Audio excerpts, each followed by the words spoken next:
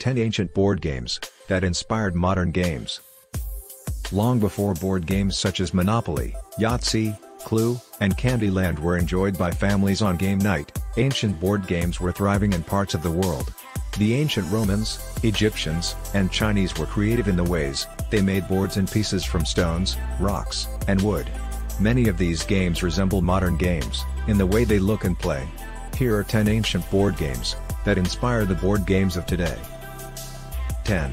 Ludus Latrunculorum Latrunculorum, which translates to Game of Mercenaries, is an ancient Roman strategic game.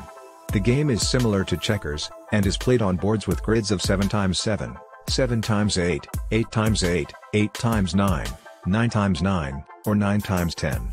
Two players move their pieces forward and backward across the board trying to capture their opponent's pieces while protecting their own pieces. The ancient game of military tactics was first mentioned, in the Roman writings of Varro, 116-27 BC, in his book titled De Lingua Latina. His writing mainly mentioned the grid of the game board, but the rules were first found in the anonymous Roman poem Laus Pisonis, which was written in the 1st century. Several ludus latrunculorum, boards of different sizes, and materials have been found in various places, and can now be seen in museums. 9. Patoli One of the oldest known board games in America is Patoli. The game was mostly played by a range of pre-Columbian Mesoamerican cultures, and it is even reported that Montezuma enjoyed watching the nobles play the game at court. The game was enjoyed by both commoners and nobles, and it was a game of strategy mixed with some luck. Patoli was a game that focused on gambling. Players would bring the same number of items to gamble, usually six items, and they would inspect each other's items, before beginning. The object of the game is to move the six game pieces, from the starting square to the ending square, before the other player. The game is played until one player, earns all of the other player's items. Players were known to gamble away their money, blankets, precious stones, food, homes, and even their family and freedom. The gambling game would be, so detrimental to some that, the Spanish priests outlawed, the game during the Spanish conquest of Mexico. 8. Senet Ancient Egypt introduced us to a board game known as Senet, which means Game of Passing. It is one of the oldest known board games, dating back to 3100 BC when, fragments of boards were found in burials in Egypt.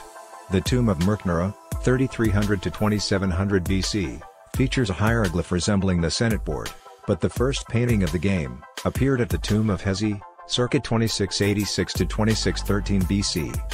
The game board is made up of 30 squares, that are evenly arranged in three rows of 10. There are two sets of pawns, with at least five pawns each.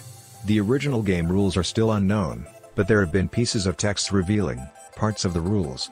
The rules have most likely changed over time, meaning the rules of modern Senet sets don't reflect those that were used in ancient Egypt. 7. The Royal Game of Ur The Royal Game of Ur was widely popular across the Middle East and dates back to the early 3rd millennium BC. The two-player strategy board game hit a spiritual high and was believed by many to reflect a player's future and convey messages from the supernatural. The race game is played using two sets of seven game pieces and a game board made up of two rectangular sets of boxes. You will need strategy and luck to dominate your opponent while trying to move your 7 pieces, along the course before the other player. The game of Ur lost most of its popularity during late antiquity, when many believed, the game evolved into an early form of backgammon. 6. Gyan Chaupar A popular dice game in India, is known as Gyan Chaupar, and the earliest versions of the game date, back to the 10th century AD back then, the game was played, on a painted cloth called pata. The game was entertaining, but it was also played to instruct morality. The central theme of the ancient game, was liberation from the bondage of passions. It is more popularly known in today's society, as snakes and ladders. In Gyan Chaupar players start from the bottom, of the game board, and roll the dice in order to move forward, according to the number, that lands on the dice. The game is based entirely upon luck, and is a simple race to the top while trying to avoid, obstacles in the shape of snakes, that hold players back. The board and gameplay, have been slightly modified over time in different areas of the world today. 5. Alquerque Alquerque is an abstract strategy board game, that is believed to have originated, in the Middle East. Abu al-Faraj al-Isfahani first mentioned the game, in literature in his 24-volume work Kitab al-Aghani, that was released in the 10th century. Unfortunately, the rules were never mentioned in his work. However, rules of the game were found in the 13th century, Libro de los Juegos, by Alfonso X of Castile. Before the game begins, each player places their 12 pieces, on the two closest rows, and in the two right spaces, on the center row. The object of the game, is to eliminate the other players' pieces by jumping an opponent's piece that is adjacent, and the point beyond the piece is empty. Alquerque is considered to be the parent game, of the US version of checkers. 4. Mehen The ancient Egypt board game Mehen, was named in reference to a snake deity, in ancient Egyptian religion.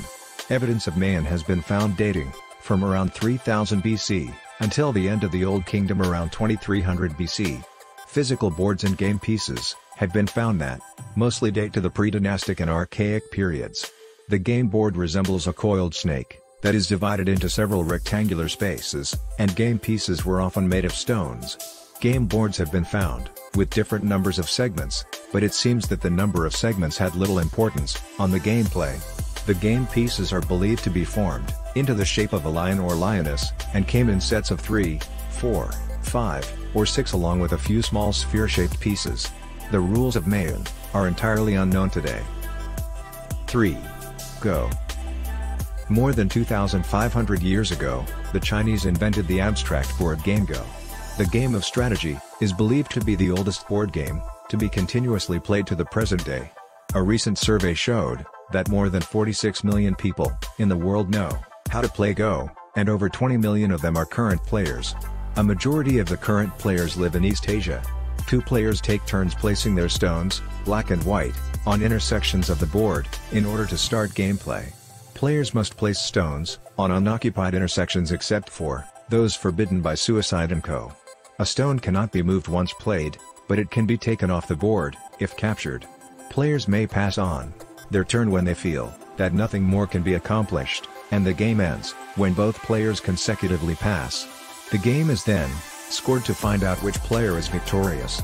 Since Go is a competitive game, in many parts of the world, many play the game professionally. 2. Hounds and Jackals Hounds and Jackals was a popular board game invented around 4,000 years ago in ancient Egypt. The Bronze Age board game was once found in its entirety, in a Theban tomb of the Egyptian pharaoh Amenemhat IV, that dates to the 12th dynasty. The complete gaming set that, was found is preserved today, at the Metropolitan Museum of Art, in New York.